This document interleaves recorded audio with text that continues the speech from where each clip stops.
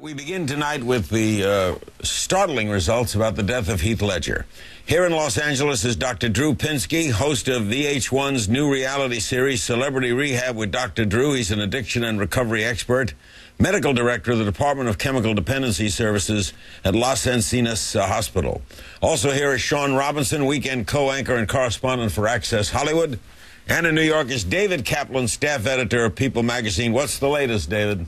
Well, the latest is that the New York City Medical Examiner's Office today announced that they've concluded Heath Ledger died from an accidental overdose. And the overdose happened from six different prescription drugs, um, anti-anxiety, sleeping aid, as well as painkiller. And they're saying that the really that the acute intoxication was what killed him, and this happened when all these prescription pills were mixed together. Are we saying, Dr. Pinsky, that if anybody took these six pills together, they would die? We're not really saying that. What we're saying is that this is a combination that's potentially lethal. There's no single physician that would ever prescribe this combination. Ever. I, there's really no rational reason for it. He, he, whether the two opioids he was taking, not prescribed together, the three different benzodiazepines, anti-anxiety meds he was taking, should never, they're really recapitulations of the same thing over and over again. Here they are, right. Let's tell us what they are. It's basically OxyContin, Percocet, Vicodin, the oxycodone, hydrocodone. Those are not prescribed together. They are extremely powerful pain medications that should never be used in a healthy person and only for very short periods of time for things like surgical pain.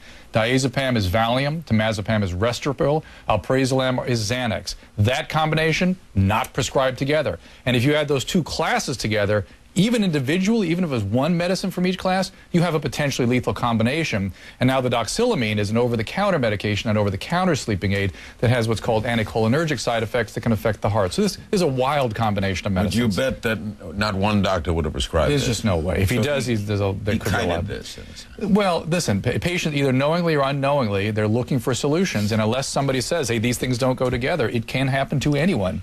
Shaun, do we know why the feds are investigating? Oh, absolutely, Larry. This is a routine investigation that the Drug Enforcement uh, Agency is looking into uh, because they said that anytime a person has uh, overdoses, they have to look into how they actually got the drugs, whether it was through a false name, whether they ordered them online, overseas, or whether somebody was getting the drugs for them. So they said it doesn't matter if it is a celebrity or not. This is a routine investigation into how one person got all of these drugs. So they're investigating the doctors, right? Yes. The person is dead, so Absolutely. there's no charge right. against him.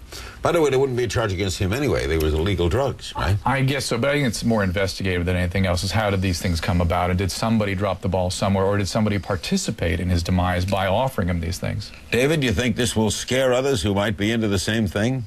I mean, well, it's interesting because today Heath's dad issued a statement saying that he hopes that what happened to Heath is re really a reminder to other people to be careful with prescription medication. So, absolutely. Heath's father released a statement on behalf of the Ledger family after the medical examiner's findings were released.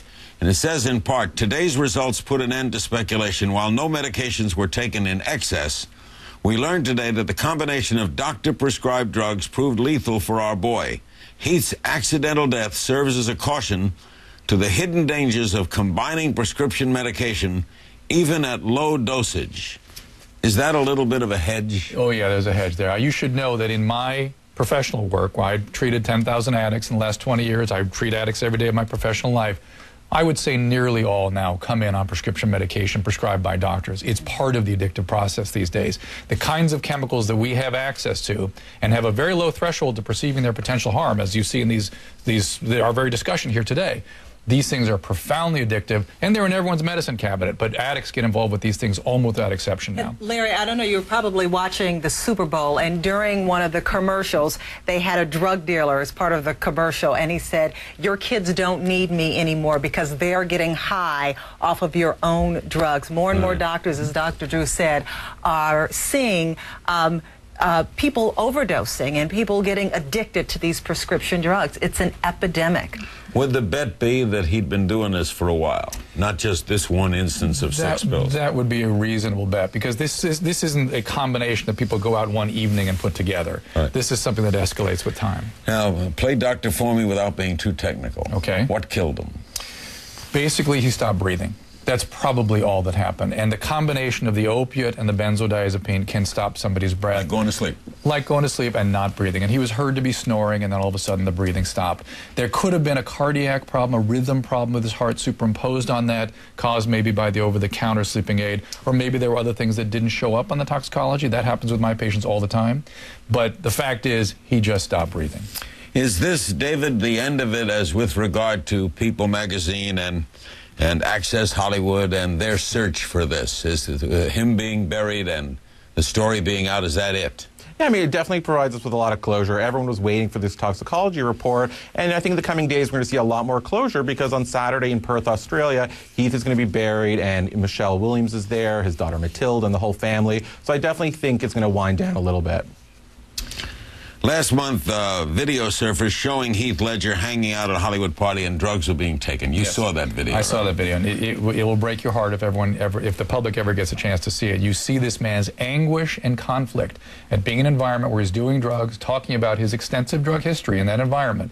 Is this pills? Uh, he talks about. I, I, and I'm not really comfortable telling you exactly what he said until people are ready to to, to uh, issue this tape. But he was talking about an extensive history. Now, whether that was just bravado or reality, and he's seen to be intoxicated in this video with very very serious narcotics medication.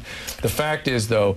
This is someone who is in deep anguish when he's doing this, and you see his profound conflict at knowing his daughter and his wife are upstairs. He's, he keeps saying, "I shouldn't be here. This is terrible." I mean, he really is struggling, and it is so painful to watch somebody whom we all love and have great respect for going through this uh. incredible experience. I would tell you, like, my problem is that the whole thing gets shrouded in secrecy. That's my problem. Is that people want to make a secret out of this, and if they hadn't when he was alive, he'd still be alive. When we come back, more on Heath Ledger and how he died. And still to come, Michael Moore, the filmmaker, and the former White House press spokesman, Ari Fleischer, and D.D. Dee Myers. paid for by the government. Don't go away. So you work for the government.